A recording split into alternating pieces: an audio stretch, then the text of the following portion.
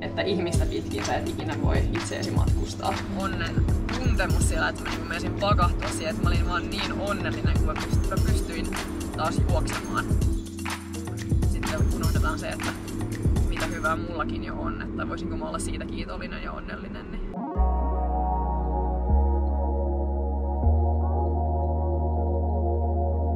Vaasa tähtää maailman onnellisimman maan onnellisimmaksi kaupungiksi. Minä olen Maria Veitola ja tulin Vaasaan tutustumaan kolmeen onnelliseen vaasalaiseen.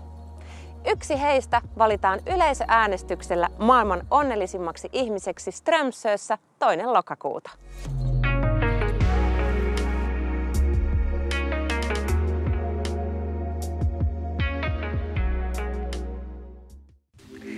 Nyt päästään tutustumaan Anni Ruostekoskeen.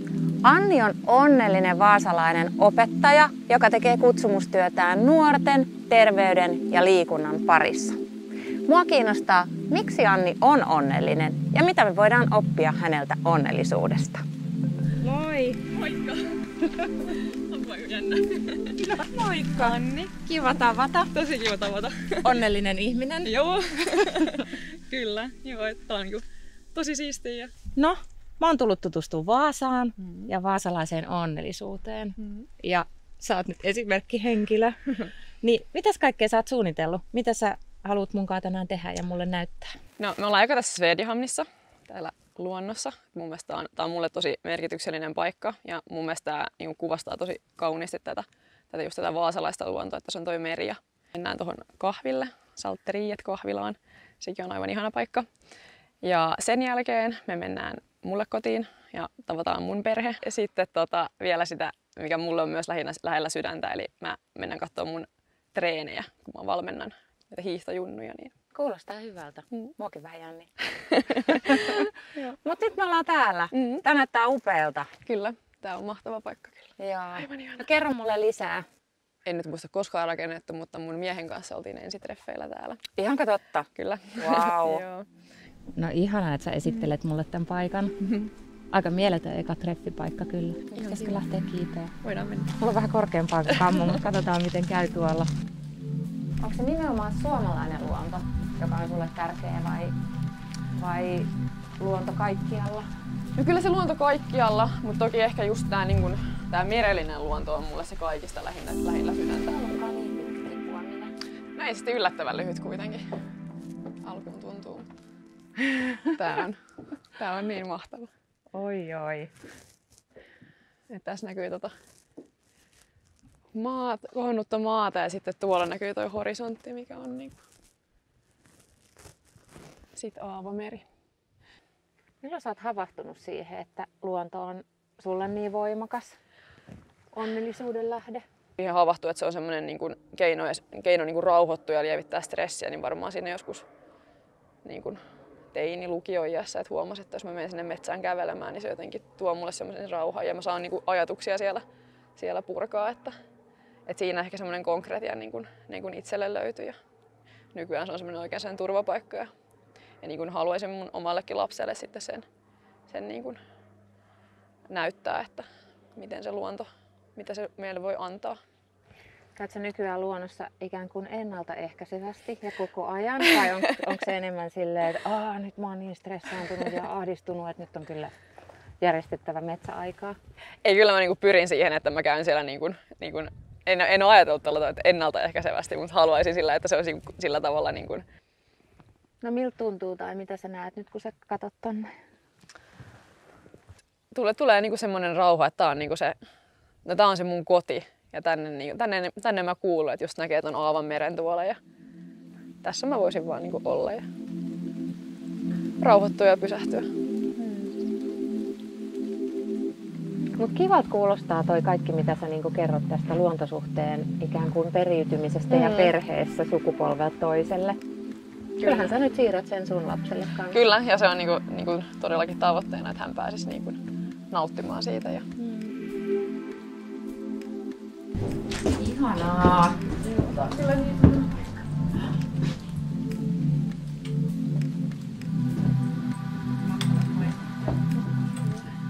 Hei, kerro mulle tota, siitä sun miehestä lisää.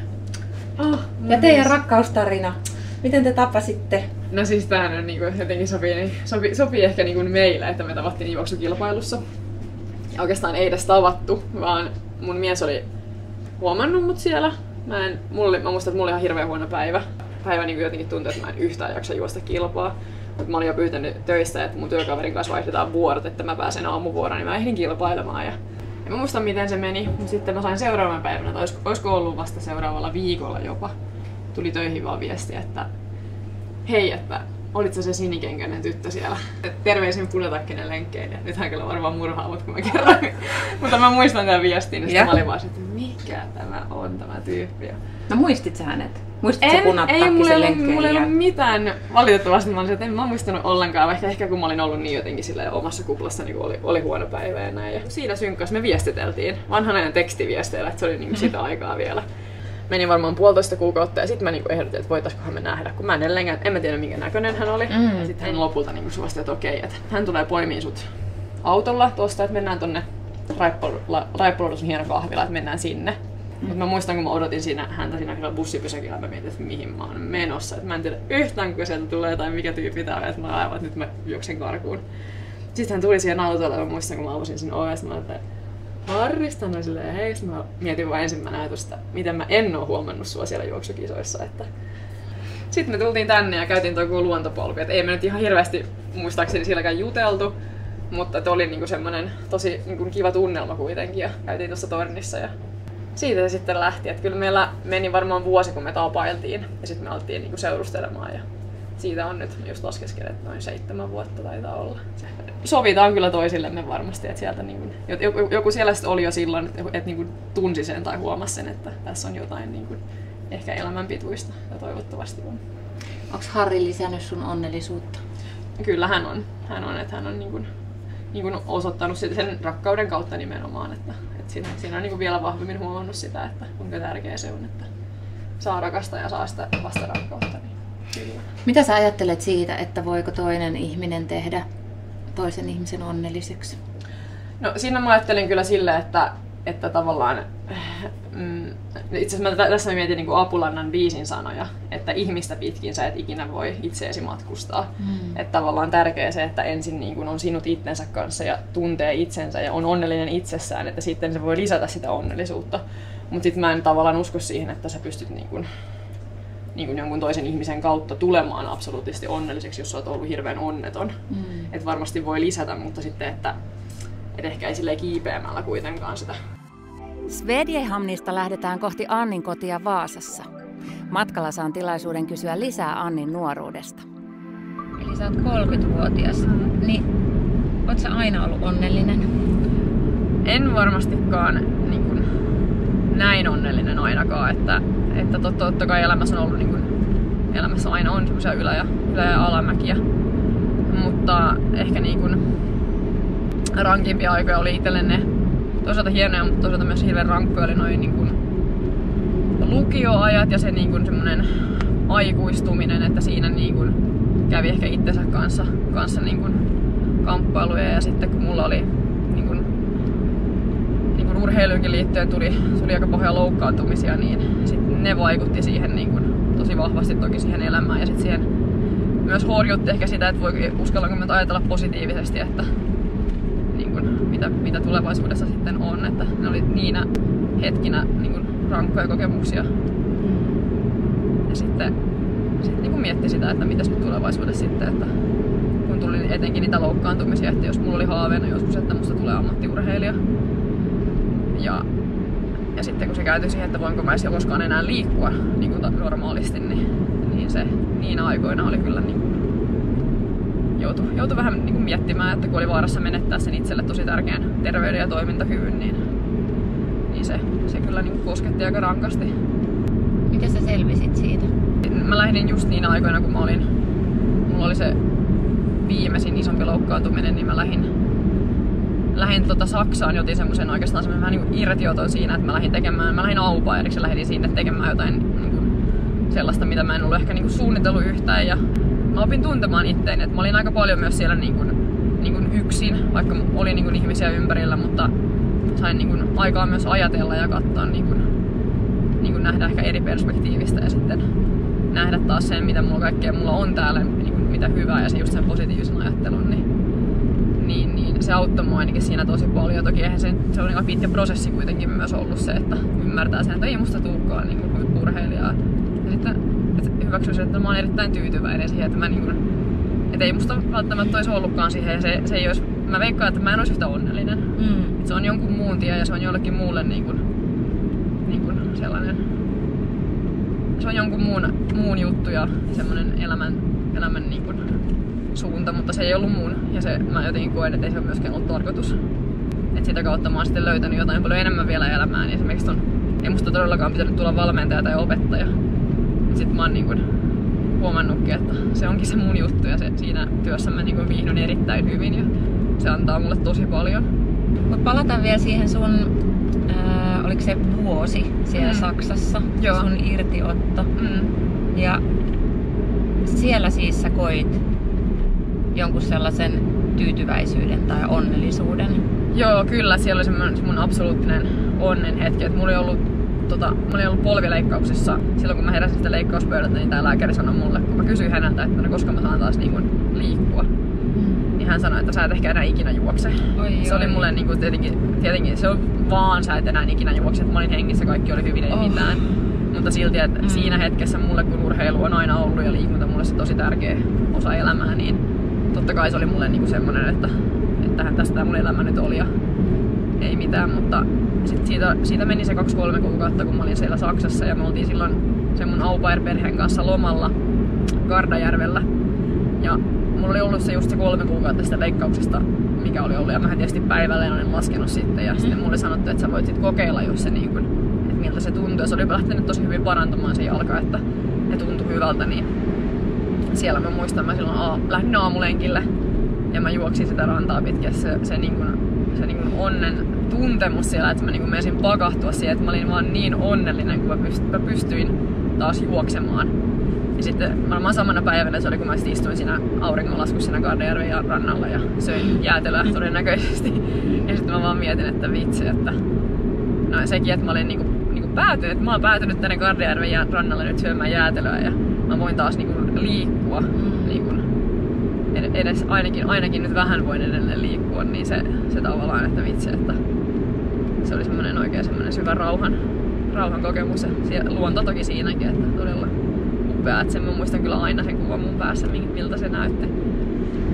No kun sul on toi kokemus, niin mitä sä ajattelet, että voiks tai vaatiiko se jotain rajua ja kovaa kokemusta taustalle, jotta ihminen voi kokea noin täydellisen ja auvoisen onnellisuuden? Ei se välttämättä vaadi, mutta se niin kuin ehkä avaa ne silmät vasta. Mm. Et sehän olisi toivottavaa, että niin kuin havahtuisi ennen kuin täytyy tapahtua mitään. Mutta että et, et se kiitollisuus siitä, että nyt, nyt niin kuin yrittää niin kuin vaalia sitä kiitollisuutta joka päivä, että ilman että tapahtuu mitään, että mä saan olla niin kuin, niin kuin kiitollinen siitä, mitä mulla on ja että mä, mä saan niin kuin, mä oon terve ja toimintakykyinen ja sitten mulla on rakkautta ja niin kuin ympärillä, että mä, mä saan olla näin onnellinen. Että se, että se tarvii sen et, niin kuin silmiä avartamaan, että mä oon vaarassa menettää jotakin. Ja sitten sit mä vasta niin kuin ymmärrän. Niin, Ymmärrät arvostaa niin sitä, sitä, sitä, mitä sul jo on. Niin, kyllä, Mm. mm. kyllä. Et sit sitä niin kun, ehkä se on just semmoinen juttu, mikä niin kun monilla ehkä niin kun, että tavoitellaan hirveästi jotain, jotain muuta ja sitten kun ja jollakin on aina paremmin kuin itsellä. Sitten unohdetaan se, että mitä hyvää mullakin jo on, että voisinko mä olla siitä kiitollinen ja onnellinen. Seuraavaksi saan tavata Annin perheen, josta hän on jo vähän kertonutkin. Annin mies Harri on supervaasalaisessa ammatissa, insinöörinä energia-alalla. Vauva Isla opettelee kuulemma kävelemään. Mennään moikkaamaan Annin perhettä. Tervetuloa. Tervetuloa meille. Hallo. Moi! Mä oon Maria. Hei! Voi ei, mikä söpönen. Voi mikä pieni vauva. Moi, mä oon Maria. Moi. Ai sen Isla. Kuule Isla. Isla. Mitkäs Harri sun fiilikset oli tästä, tota, kun Anni ilmoitti itsensä potentiaalisesti maailman onnellisimmaksi ihmiseksi? No vähän kauhistuin tietysti. Kauhistuit! Olen jo hyväksynyt asian. Joo. Kyllä. Hei, kertokaa mulle tästä vaasalaisuudesta, koska mähän olen Itä-Suomesta ja sitten mä oon tietysti helsinkiläistynyt ja mulla on semmoinen vahva itäsuomalais-helsinkiläinen identiteetti ja mä en tajua tästä länsirannikosta niinku mitään. Niin mikä se vaasalaisuuden ydin on? Tai mitä se vaasalaisuus on? Ei, en mä tiedä. Ehkä siinä, siinä ehkä vähän niinku sekoittuu se, niinku se ruotsinkin kulttuuri tänne jollakin tavalla. Että kun tässä on niinku sellainen ruotsalaistakin fiilistä semmoista, just semmoista pientä niinku positiivista fiilistä mun mielestä, josta vibaa niinku sieltä puolelta. Ja sitten myös semmoista, sitten semmoista perinteistä suomalaista, että ehkä jotenkin ne täällä sekoittuu. Niin just. Hei, kerro vielä siitä, että miten susta niinku tuli just liikunnan ja terveystiedon opettaja? Ja kyllä musta sattumalta varmaan ihan niinku opettaja tuli, että se ei mulla ollut kyllä koskaan mielessä. Että ennemminkin mä, mä muistan, kun mä menin sinne Jyväskylän liikunnalle, että musta ei tule opettaja, vaan musta tulee niinku, mä menen sinne liikuntafysiologiaa ja liikuntabiologiaa ja sitten musta tulee valmentaja. Mm. Mutta sitten niin kun, just niin kun, kun ajattelin niin sitten tätä kokonaisuutta ja perhe täällä ja, ja sitten jos haluaa tehdä töitä täällä, niin sitten se opettajan ammatti ehkä rupesikin kuulostamaan semmoiselta niin kun järkevältä ratkaisulta ja en ole kyllä sitä päivääkään katunut sitä, että valitsin sitten sen, että sitten mä huomasin, että siitä tulikin sitten, sitten se olikin sitten se mun, mun niin kutsumus tavallaan, että se terveystieto on semmoinen oppiaine, että mitä kautta pystyy sitten heidän kanssaan näistä asioista juttelemaan ja toivottavasti myös jotain opettamaan siihen liittyen. Niin tähän onnellisuuteenkin liittyen, että miten vahvasti niin kuin just ne terveystiedon aiheet siihen liittyy. Mitä, mitä, mitä, miten sitä onnellisuutta voi opettaa? No just varmasti, niin kun, no mä, mä puhun hyvin paljon heidän, heidän kanssaan somesta ja niistä paineista, mitä tulee ja odotuksista ja sellaisista, että niin kun, mitä, mitä paineita heille tulee ulkoapäin ja miten, miten niin kun, niitä ymmärretään ja käsitellään. Ja sitten niin kun just siihen mielenterveyteen liittyen.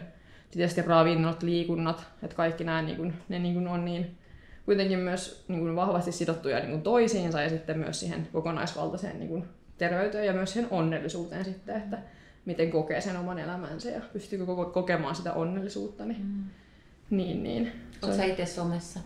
En, en, en ole. Et että, vai? Ei, että mä oon, ainoa missä mä oon, niin on Facebook. Ja onko se tietoinen valinta, että sä et Joo, oo- se on, se on niinku, että mä oon niinku huomannut sen, että tai niinku, niinku just, just siellä koulumaailmassa ja, ja muutenkin elämässä, että niinku monet niinku elää, elää niinku välillä sillä tavalla, että he elää niinku ajatellen sitä somea niinku edellä, että miltä tämä näyttäisi somessa ja mitä mun nyt pitää tehdä, että se näyttäisi hyvältä somessa.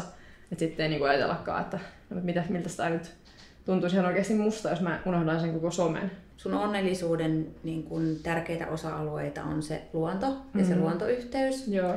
Sitten on ää, liikunta Mm. ja se, että sulla on työ, joka on sulle tosi merkityksellistä ja sä pystyt sitä kautta ikään kuin toteuttaa sun arvoja ja siirtää mm. niitä myös eteenpäin. Mm. Ja sit sulla on ihana puoliso ja lapsi, eli perhe. Ja sit sulla on sun oma terveys, jonka sä oot ehkä sitten tajunnut sen nuoruuden, nuoruuden niin kuin vamma, vammautumisen tai onnettomuuden mm. kautta. Että... Mm. Ja sitten se, että sä uskallat elää ilman sosiaalista mediaa ja sen asettamia paineita. Niin, niin. Joo, joo, kyllä noin aika lailla ne, ne pointit, että ehkä niin just sen, sen arvo, arvo niin kuin, pohjan mä nostaisin ehkä siinä vielä silleen, niin kuin, niin kuin sinne ihan keulaan, että tavallaan, että, että, tiedostaa sen, että mitkä on niitä mulle tärkeitä asioita ja sitten pystyy niin kuin niiden kautta elämään. Ja, Ja kohta sä lähdet vetää treenejä mm, kyllä. nuorille. Joo. Ja mitä se merkitsee sulle? Mutta yleensä aina kun mä menen, menen tai tuun treenistä, mutta joka ikinen kerta kun mä tuun, niin mä voin olla niin innoissani, että meillä oli niin, kuin niin siistiä. Ja mä se energia, mikä sieltä tulee sieltä nuorista.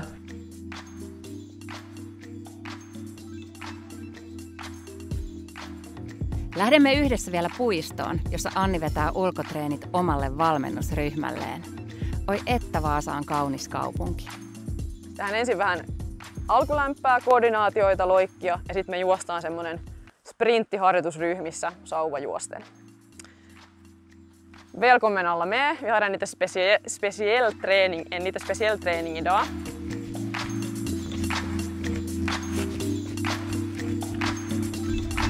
Kör det vad jag säger. Så tar ni en liten spurt, inte 100% i början, nu är vi inte riktigt